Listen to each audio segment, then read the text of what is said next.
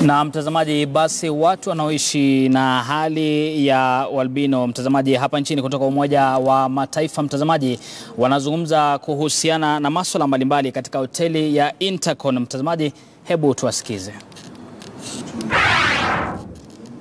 Yes, uh, another good question. Um, I, earlier this year, I contracted a Kenyan who has a, a Kenyan human rights lawyer who um, has experience in the commission, national commission, to go to Kenya and find out this link. The question in the research was the link between uh, elections and attacks, because many people with albinism in the region have been telling me when there's political elections, they, they hide and they go home very early um, because many people resort to witchcraft to try to win, and these witch doctors say, if you get the body parts, la la la.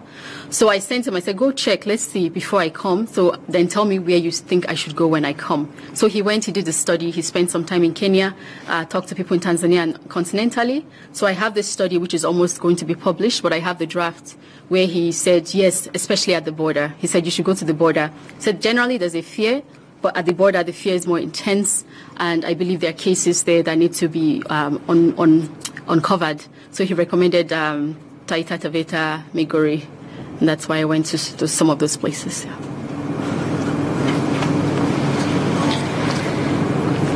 Any other question? I understand that uh, you, uh, visited uh, the Ministry of Foreign Affairs and probably after this meeting you to the CJ.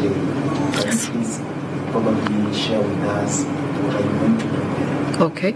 So I was at the Ministry of Foreign Affairs. It's a procedural uh, obligation, in a sense, for me to go and brief the government first before briefing you as the press. So they have a right of reply or, you know, have an opportunity to see what you're going to hear. The second uh, part of your question, I'm going to the Chief Justice after this at 3 o'clock because he invited me.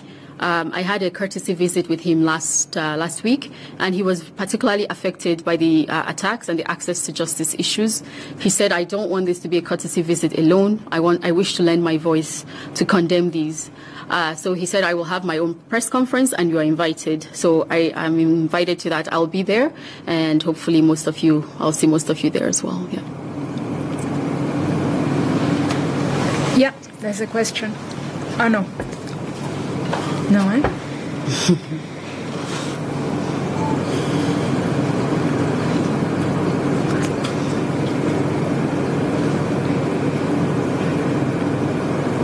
Nobody.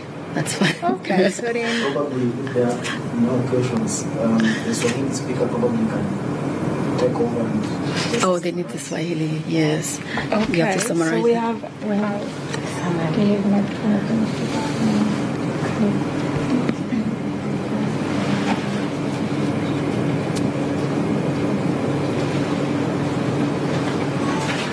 kuna mtu yeyote kuna maswali anayetaka kuuliza kwa lugha ya Kiswahili